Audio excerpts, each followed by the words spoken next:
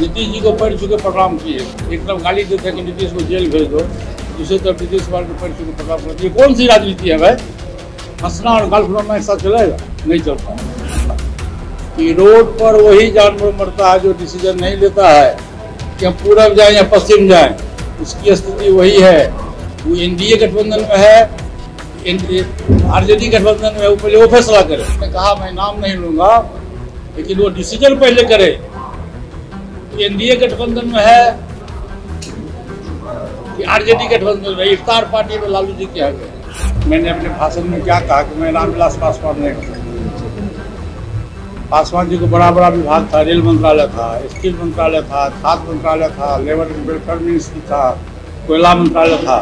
पहले ही कहा कि हमारा विभाग छोटा विभाग है लेकिन हमारे विभाग में जो कुछ भी है, एक बात आप जान लीजिए कि हिंदुस्तान में जितना डिपार्टमेंट है वो जनता से कुछ लेता है।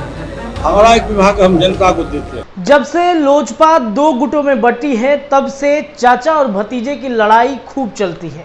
जुबानिया जंग होती है दोनों के बीच में, जिस तरीके से चचा पर चिराग पासवान हमला करते हैं, वही भतीजे पर पशुपति पारस भी पीछे नहीं हटते हैं। समय समय पर दोनों एक दूसरे पर जमकर हमला करते हैं। दोनों एक दूसरे पर आरोप लगाते हैं कि पार्टी को तोड़ने का काम दोनों ही किया है। अब देखिए बीते कुछ दिनों से इधर चर्चा करें पशुपति पारस की तो, तो लगातार चिराग पासवान पर हमला कर रहे हैं। चिराग पासवान पर जब बीते दिनों एक कार्यक्रम के दौरान उनसे सवाल किया गया तो उन्होंने कह दिया कि चिराग हमारे भतीजे नहीं हैं। अब इस पर चिराग पासवान काफ़ी दुख ज़ाहिर करते हुए उन्होंने कहा कि बताइए, परिवार में खून का रिश्ता वो नहीं मानते हैं, लेकिन हम आज भी उनको अपना चाचा मानते हैं। लगातार चल रही जुबानी जंग के बीच एक बार फिर से पशुपति पारस ने चिराग पासवान पर ज़बरदस्त हमला कर दिया है और उन्होंने इस बार जो कुछ कहा है, वो सुनकर आप भी दंग रह जाएँगे। दरअसल चिराग पासवान की स्थिति पशुपति पारस ने सड़क छाप जानवर जैसी स्थिति कर दी है। आपको याद होगा कि अभी महागठबंधन के तरफ़ से 10 सर्कुलर रोड स्थित लालू राबड़ी आवास पर तेजस्वी यादव ने दावते इफ्तार कार्यक्रम का आयोजन किया था। इस दावते इफ्तार कार्यक्रम में चिराग पासवान पहुँचे हुए थे और चिराग पासवान के पहुँचने के साथ बिहार के राजनीति गलियारे में ये चर्चा होने लगी कि अब महागठबंधन के साथ चिराग पासवान जा सकते हैं।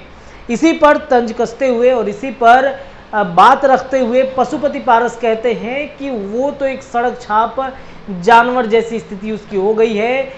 उसे पता नहीं है कि एनडीए में जाएगा कि महागठबंधन में जाएगा। जरा सुनिए, पशुपति पारस अपने भतीजे पर क्या कुछ कहते नज़र आ रहे हैं? मैंने मैंने अपने भाषण में क्या कहा कि मैं रामविलास पासवान ने पासवान जी को बड़ा बड़ा विभाग था, रेल मंत्रालय था, स्टील मंत्रालय था, खाद्य मंत्रालय था, लेबर वेलफेयर मिनिस्ट्री था। कोयला मंत्रालय। था आप समझ रहे हैं।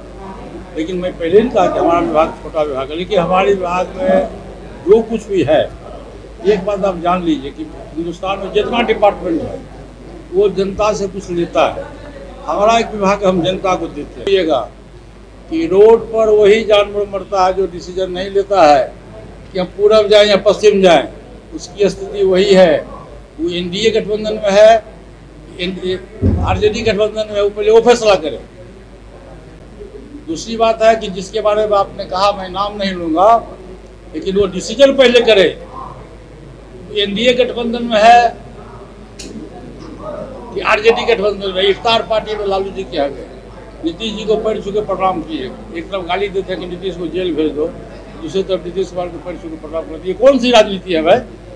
हंसना और गाल फुलाना एक साथ चलेगा? नहीं चलता चालीस नहीं पूरे देश में 540 लोकसभा है। सो तो देखिए, एक बात आप जान लीजिए। देश में प्रजातंत्र है। प्रजातंत्र में एक व्यक्ति को, प्रत्येक व्यक्ति को बोलने का अधिकार है। आप भी पाँच सौ चालीस पाँच सौ चालीसों सीट पर अपना उम्मीदवार लड़ा सकते हैं। हम भी लड़ा सकते हैं, ये भी लड़ा सकते हैं। ये मौलिक अधिकार है। तो वो भी इस देश का नागरिक है। उसको अधिकार है चालीस ने पाँच सौ चालीस पर लड़ा दी खुशी की बात। तो आपने सुना किस तरीके से पशुपति पारस ने चिराग पासवान की तुलना सड़क छाप जानवर से कर दी है? भले ही चिराग पासवान पशुपति पारस को अपना चाचा माने लेकिन लगातार पशुपति पारस अपने भतीजे पर हमले करते दिख रहे हैं। फ़िलहाल इस वीडियो में इतना ही। आप, आप हमारे वीडियो को लाइक कीजिए अपनी राय कमेंट सेक्शन में रखिए। जुड़े रहिए द बिहार टॉप के साथ। बहुत बहुत धन्यवाद।